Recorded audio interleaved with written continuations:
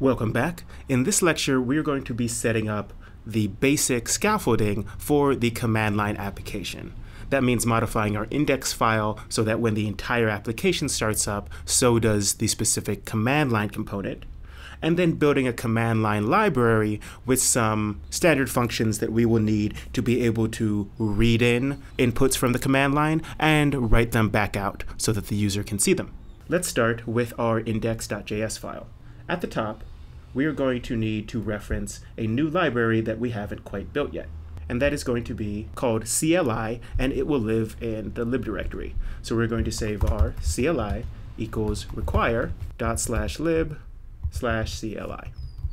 Now we need to actually start up the application. So we want to start the CLI, but we want to make sure it starts last.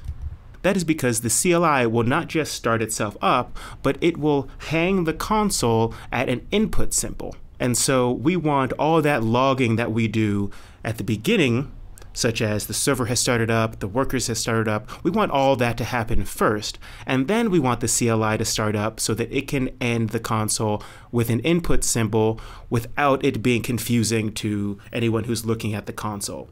Because if you had an input symbol and then a bunch of output written after it, a user would be unsure whether or not they would be actually seeing a prompt that they could respond to.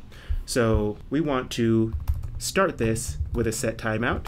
And of course, the set timeout isn't the most deterministic way to start something up late, but it'll do for now. So we just want to offset this by 50 milliseconds. And then, just like we called server init, workers init, we want to call cli.init. That's all the modification we need to do the index file. Now we can create this lib.cli file by doing touch lib slash cli.js. I'm going to open up this file. We can fill it out. At the top, I'm going to just add a comment that these are CLI related tasks. We are going to have a number of dependencies here, and these are the dependencies that we're going to need in order to interact with the console, both reading input and writing output. I'll go into all of these in more detail as we start building out these different features in this CLI library. But for now, let's just require what we need. We're going to need readline, which is var readline equals require readline. Readline is exactly what it sounds like. It's a built-in package to node that lets you read a line. Next, we're going to use util, which we've done before. And this is just a way to get us to be able to set up the CLI specific logging on this next line with the debug convention that we set up before. So we're going to say that var debug equals util.debug log, but the special phrase for this debugging is going to be CLI. So the logging that we're doing in this file will only be apparent to the user if they start the app with node underscore debug equals CLI and then node index.js. Next, we want to include the events library. As I mentioned, we're going to be building this in a different kind of way. When input comes into the console and we read it in, that's going to emit events that our handlers can respond to. And so we're going to use the events library pretty extensively. So we're going to require events. In order to use the events, we actually have to extend our own class from the base class and then instantiate it. We want to say that class underscore events extends events. Now that we have our own extended class, we want to say var e equals new underscore events. And that is this a convention that Node.js recommends for interacting with the events class. It's specific to the way that this module works. And once you have this new E instantiated, you can do all of the event handling that you will want to do. So let's just instantiate the CLI module object, which is a really fancy way of saying, let's create an object and call it CLI and then let's export it down at the bottom. Module.exports equals CLI. All right, now we need to write this library. Where should we start? Well, in index.js, we're calling cli.init, so we might as well start there. let's define an init script. Say that cli.init equals a function. And what do we want to do within this initialization? We want to send the start message to the console in dark blue this time. So let's go ahead and copy our start message that we used for the server when we said the server is up and running.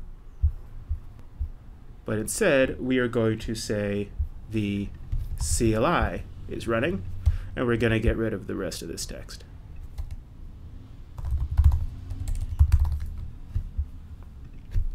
We do want to modify the color though, so rather than using 36, which we were using before, we're going to change this to 34, and that's going to give us a dark blue color. Now that we've said the command line app is running, we actually have to start that prompt that I mentioned earlier. We have to put a input symbol in the console and this will indicate to the user that we're waiting for something from you. So let's start the interface. The way you do this is define an interface object, and then you use the readline package dot create interface.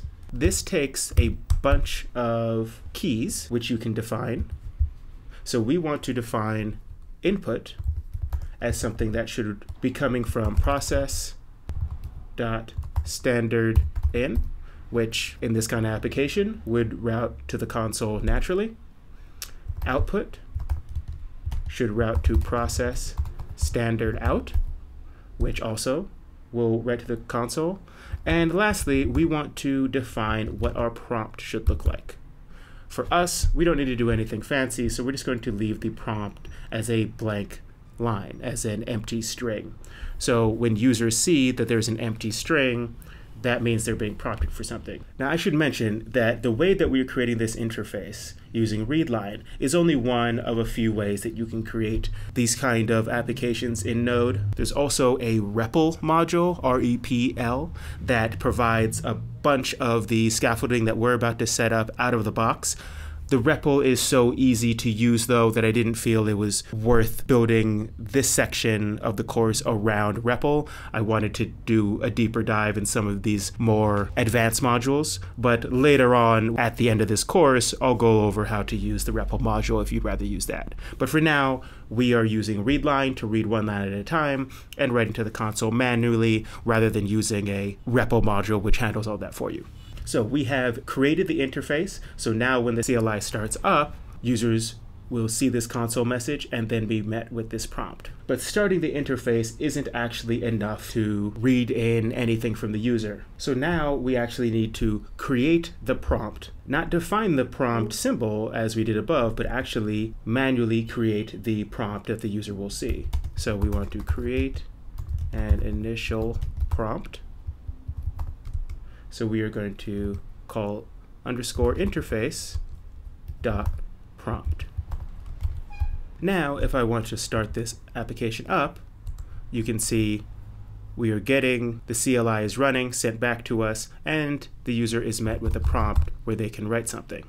But when they enter it, nothing happens because we haven't defined any way to handle what they're writing. If I kill this application and then change the prompt to a greater than sign, start it back up, you'll see that we're met with a prompt, but this time it starts with the greater than sign where we can write whatever we want. It's up to you if you want to use a prompt symbol or not. I tend not to use it. So now we have actually created the prompt. We need to start handling the lines of text that the user will write in response to the prompt. So we want to handle each line of input separately. So we're going to call interface and then we're going to bind to the on line event. This is going to be emitted every time the user writes something, presses return, and sends us a line that they just wrote. So on line, this function is going to get called and it's going to pass us this string. So we're going to need to now do something with this string. So we're going to send to the input processor. The input processor isn't something we've defined yet, but we will create that function next. This is going to call CLI.processInput, and then pass the string that we just got. Now that we have handled this input line from the user, we actually need to reinitialize the prompt. Otherwise, they're not going to see the prompt again. So we need to reinitialize the prompt afterwards. So interface, again, dot prompt. Otherwise, they would just see the prompt the first time, but after they wrote something, they wouldn't see it again. Lastly, we need to handle the situation if the user stops the CLI. So we want to say that in that case, we want to kill the associated process. So interface on close. So on the event where the CLI is closed by the user, we want to call this anonymous function and just manually kill everything with process.exit. This zero is the status code that we're exiting on. If we wanted to exit on a non-zero status code, we could put that there, but zero status code tends to mean that everything is fine, so we want to do that. Now we've set up this input prompt, we need to define this CLI.process input function that will actually handle everything that the user might be writing. So above the initialization script, let's write this input processor. It'll be CLI.process input. It's going to be a function that, as we saw, just takes a string. The first thing we need to do, of course, is sanitize this string. So string equals type of string equals string. And it has a length even after it's trimmed. If so, we want to use it or call it false. Now we only want to process the input if the user actually wrote something. Otherwise, we want to ignore it. So if there's a string, we want to continue, and we don't need an else here because we don't need to handle the case that the user wrote nothing and just pressed return, or had an empty space and pressed return. When that happens, we will naturally, after processing this input, return them to the interface prompt. And so we don't need to actually handle that event, we can just ignore it. So we'll only continue inside of this if, and outside of this if, nothing will happen. Now we want to codify the unique strings that identify the different unique questions that the user can ask. So codify the unique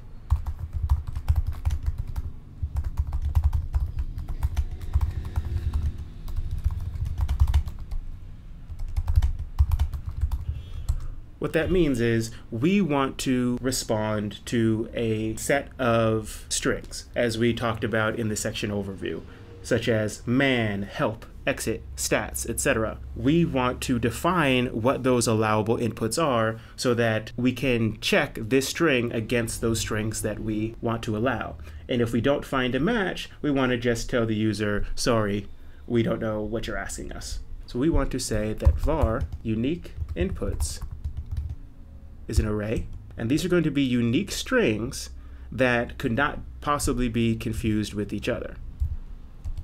Man, help, exit, stats, list users, more user info, list checks, more check info, list logs, more log info. So now that we have these unique strings, we want to try to find a match for the string that the user just sent us. So we're going to go through the possible inputs and emit an event when a match is found. So we're going to start with match found equals false and our counter equals zero.